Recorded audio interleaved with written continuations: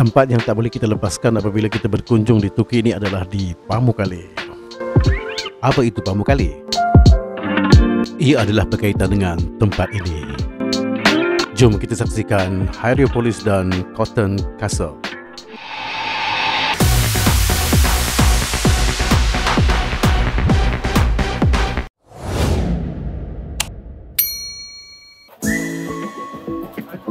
Untuk masuk ke tempat ni kita perlu membeli tiket dan masuk ke dalam kawasan Hierapolis. Tapi kalau kita pergi melalui pakej biasanya dia akan masuk dalam pakej tersebut.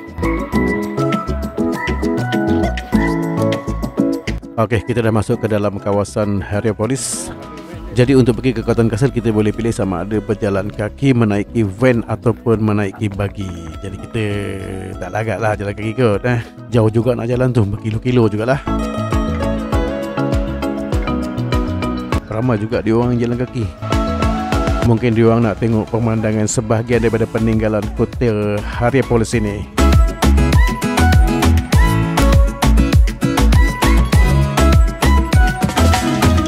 Hierapolis ini adalah satu bandar purba macam Ephesus juga tetapi dia lebih kecil sedikit. Dibina 200 tahun sebelum masih tetapi telah musnah disebabkan oleh gempa bumi.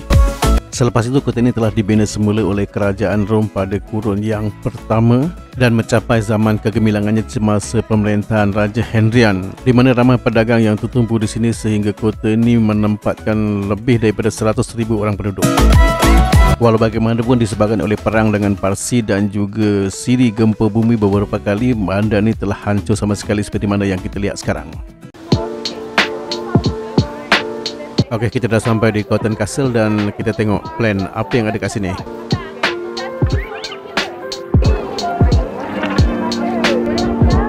Ramai betul orang kat sini.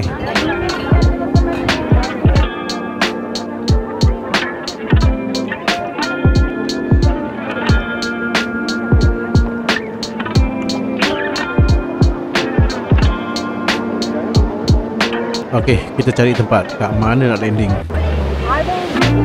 Ah, okey. Ya. Bawa pohon pokok. Kita boleh letak kat Letak kasut kat situ. Ah.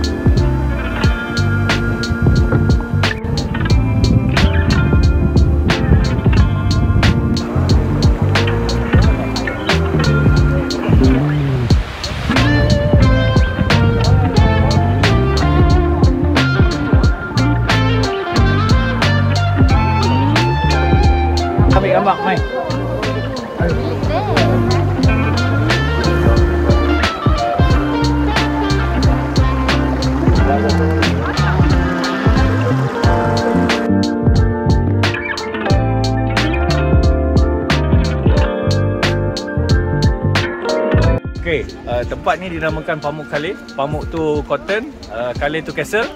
Okey, uh, tempat ni terjadi semula jadi daripada letusan gunung berapi. Uh, dia bergerak-bergerak daripada tanah tu jadi dia mengeluarkan kalsium. Dan kalsium itulah terjadinya bukit Batu dapur ni. Ha. Dia terjadi lebih kurang dalam 1000 ke 2000 tahun yang lepas lah. Oh. Sebab tu dia orang buat kota kota dia orang kat sini, Hierapolis. Hierapolis. Hierapolis. Hierapolis ni dia meliputi keseluruhan tempat ni lah. Betul. Okey, okey. Tapi dia hanya beberapa persen saja kalau compare dengan Ephesus kita pergi semalam. Ha, ha. Ni lebih kecil. Kawasan ni lebih kecil daripada Yang Ephesus. recover tu banyak juga lah. Inilah yang yang yang dia orang recover Oh. semua tempat ni. Ada lagi tempat yang tak recover? So far dah di recover. Ah. Tapi cuma dia jauh-jauh. Ha, kita jauh-jauh. tak boleh pergi. Kena pergi kena pergi naik uh, bagi. Okey, itulah dia Pamukkale Istana Kapas. Yang putih macam kapas ni sebenarnya adalah lapisan kalsium yang berpunca daripada air yang mempunyai kandungan kalsium yang tinggi kemudian dia mendap menjadikan ia satu lapisan putih seolah-olah seperti kapas. Perkara ini telah lama berlaku iaitu beribu-ribu tahun dahulu sebelum kota Hierapolis ini dibina.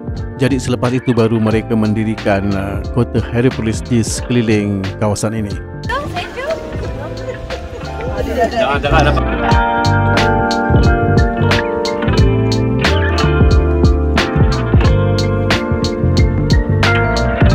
Okey, jom kita masuk dalam. Dikatakan air daripada tempat ini dapat menyembuhkan pelbagai penyakit kulit dan juga membuatkan kulit kita halus dan gebu. Mungkin juga lah kot sebab kandungan kalsium dia.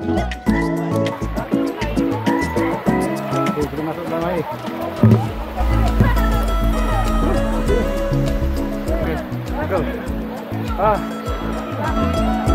Kurang apa? Pagi nak.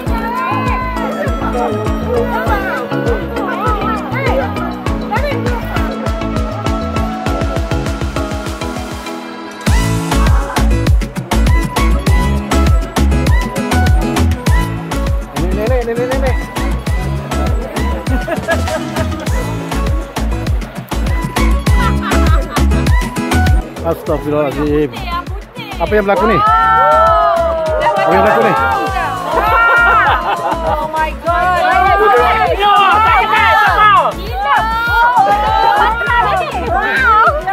Hey.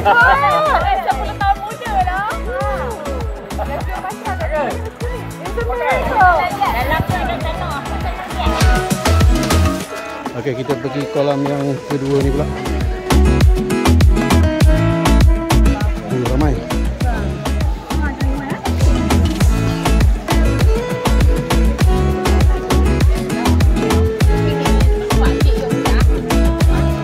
Cotton Castle.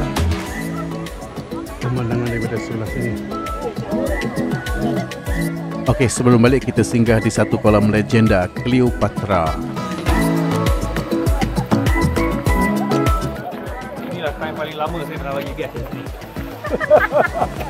Sebab sebab Saya dah tahu lah. sebab Saya, sebab saya dah boleh baca dah game tu. Sebab I tahu ada ada sesuatu group kan. sebab ada satu ada geng tu kan. Kalau sejam ni confirm memang tak cukup.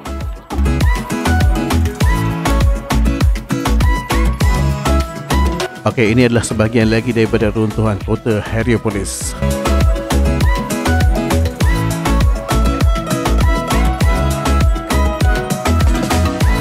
siapa terlepas ni?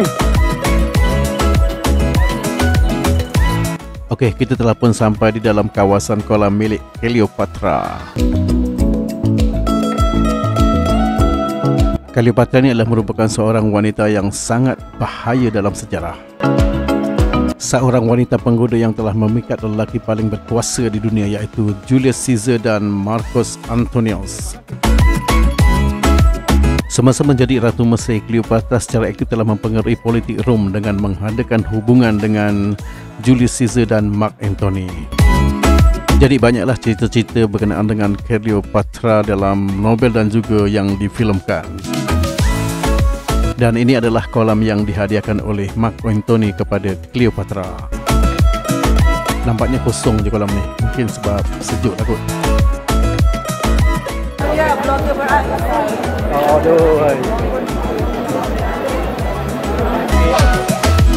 Air Cleopatra pun nak try.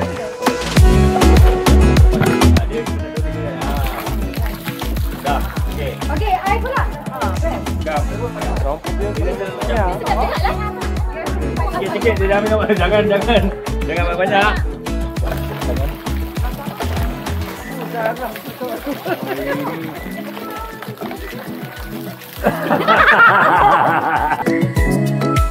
Terus jadi muda 10 tahun.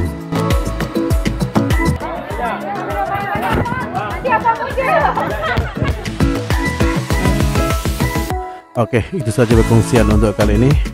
Kepada anda yang telah menonton video ini harap dapat like, comment, share dan subscribe.